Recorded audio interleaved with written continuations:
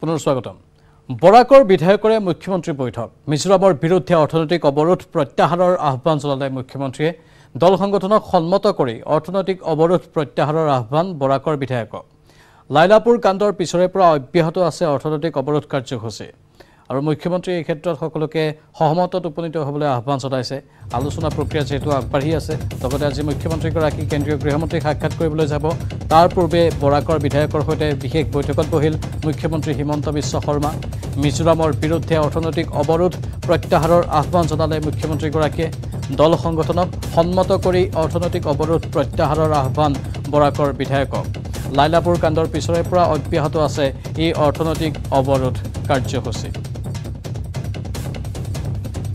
এতিয়া এটা দ্বিপাক্ষিক আলোচনা আৰম্ভ হৈছে আমাৰ মন্ত্ৰী পৰ্যায়ৰ কাইলৈ যিটো ডিচিশ্যন হৈছে এটা both of ministers home minister আমাৰ মিনিষ্টাৰ মিলি যিটো মিনিটছ অফ মিটিং এখন হৈছে আপোনালোকেও পাইছে এইখন। এতিয়া ইয়াতে মানৱিক দৃষ্টিকোণৰ পৰা ছাপ'জ মেডিচিন ভেকচিন গেছ চিলিণ্ডাৰ এইবিলাক আমি মানে আজি এটা ডিচিশ্যন লৈছোঁ আমি।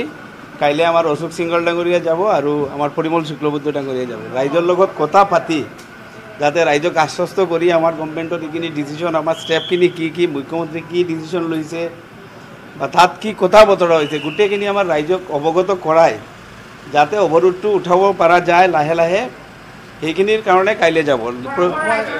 বৰাগৰ ৰাইজৰ লগত কথা পাতি ৰাইজক কনফিডেঞ্চত ল'ব লাগিব ৰাইজে স্বতঃস্ফূৰ্তভাৱে কোনো গভৰ্ণমেণ্ট কোনো বিধায়ক কোনোৱে প্ৰৰোচনা দিয়া নাছিল যে ইকনমিক ব্লকেজ হ'ব লাগে বাট ৰাইজে চিটুৱেশ্যনৰ ওপৰত যিটো কৰিছিল কাইলৈ গৈ তেওঁলোকে ৰাইজৰ লগত কথা পাতিব আমি এটা সিদ্ধান্ত লৈছোঁ আমিও এটা এপিল দিম।